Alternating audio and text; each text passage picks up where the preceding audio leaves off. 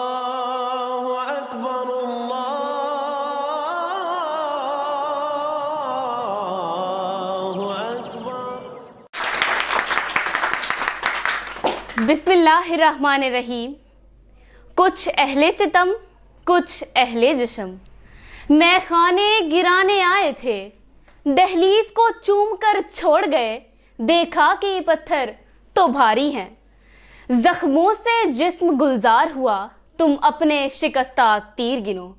खुद अहले तरकिश कह देंगे ये बाजी किसने हारी है?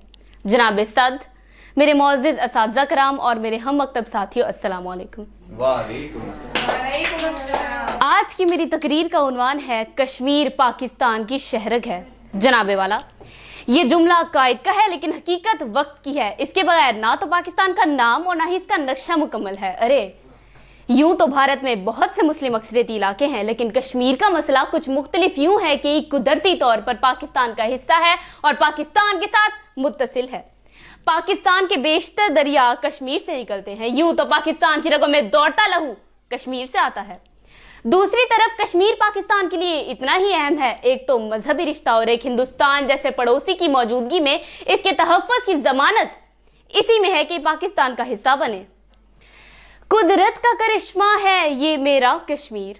के कुदरत का करिश्मा है ये मेरा कश्मीर। आओ, दो जख्म में डूबी हुई जन्नत देखो। मीरे मजलिस, भारत गुजश्ता तिहत्तर साल से जो मजालिम कश्मीरियों पर ढा रहा है, इस पर पाकिस्तानी अवाम हमेशा दुख का शिकार होती है और गम गुस्से का इजहार भी करती है।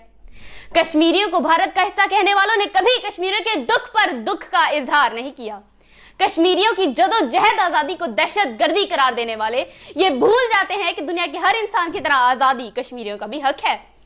जनाबे वाला, पाकिस्तान और पाकिस्तानियों का यह मुतालबा इंतहाई मंतकी और जायज़ है कि वो मुसलमान कश्मीरी भाइयों के हक के लिए इनकी मदद करना चाहते हैं, जिनके दिल मुसलमान होने के नाते एक साथ धड़कते हैं बैन अवी बरदरी को इस सिलसिले में पाकिस्तान और कश्मीर के मुतालबात मानने के लिए भारत को मजबूर करना होगा। हर गुल की जबी पुरशिकन है।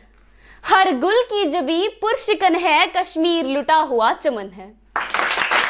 होठों पे रोके हुए हैं शोले, आँखों में जमी हुई है चुभन। जनाबे वाला। कश्मीर के बगैर पाकिस्तान नामुमकिन है। कश्मीर में 80 फ़ीसद आबादी मुसलमानों की है, लेकिन फिर भी इस पर हिंदू साम्रा हुकूमत कर रहा है। मुसलमान जिल्लत और रसवाई की ज़िंदगी बसर कर रहे हैं। सबसे पहले इस पर मुसलमानों ने कई साल हुकूमत की, इसके बाद सिखों ने और फिर अंग्रेज़ों ने। अंग्रेज़ों को जब रकम की ज़रूरत थी तो इन्होंने पूरा रियासत कश्मीर। अठारह सौ चालीस में पिचहत्तर लाख रुपए के एवज नाकिस गुलाब सिंह को फरोख्त कर दिया। गोया हर शहरी की कीमत सात रुपए मुकर कर दी गई। तारीख इंसानियत में यह पहला मौका था कि किसी कौम को चंद सिक्कों के एवज बेच दिया गया। इसके बाद दोगर राज का सितमनाक दौर शुरू हुआ, जिसमें मुसलमानों का जीना दुश्वार हो गया। हाथों में पत्थर लिए शहजादियाँ कश्मीर की। हाथों में पत्थर लिए शहजादियाँ कश्मीर की, ढूँढने निकली हैं खुद आजादियाँ कश्मीर की। जनाबे वाला कश्मीर, शाहिदान की सरजमीन मुगल दीन का मरकज, हज़रत बिल के हवाले से सरकार के मुँह मुबारक का नूर मरकज, लाखों शहदा के मुकदस खून से खिलने वाले गुलदस्तों की बाहर जाविदा हैं।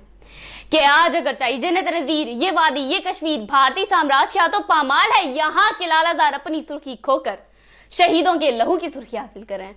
वो ऐसा क्यों कर रहे हैं? कि अब तो शहीदों के लहू की सुर्खी से ज़मीन तो क्या आसमान भी शफक रंग नज़र आता है? बेशुमार मजलूमों की आहें और सिस्कियाँ अर्श इलाही का तवाफ कर रही हैं। हर फर्द परेशान बेचैनो दिल शिकस्ता। हर फर्द परेशान बेचैनो दिल शिकस्ता, कोई मरहम इन्हें लगाए कि कश्मीर जल रहा है। दिन में भी अंधेरा, खुर्शीद भी बेनूर। के दिन में भी अंधेरा, खुर्शीद भी बेनूर, कोई शम्मा बनकर आए कि कश्मीर जल रहा है। आए, हम सब पाकिस्तानी अपना फ़र्ज़ अदा करें। आलमी जमीर को झिझोड़े और जनरल असम्बली के नुमाइंदों के सामने भारत के इस मकरू चेहरे को बेनकाब कर दें। और हम सब पाकिस्तानी महमूद गजनवी बनकर भारतीय सोमनाथ के बुद्ध को पाश पाश कर दें। चलो, कश्मीर चलते हैं, जहाँ पर बर्फ़ गिरती है। जहाँ पत्थर के नीचे फूल खिलते हैं, जहाँ चश्मे उबलते हैं, जहाँ बारिश बरसती है। बरसती बारिशों में भी जहाँ कोसार जलते हैं। चलो कश्मीर चलते हैं, चलो कश्मीर चलते हैं। इसे आज़ाद करते हैं, इसे आज़ाद करते हैं। चलो कश्मीर चलते हैं, चलो कश्मीर चलते हैं। शुक्रिया। Allah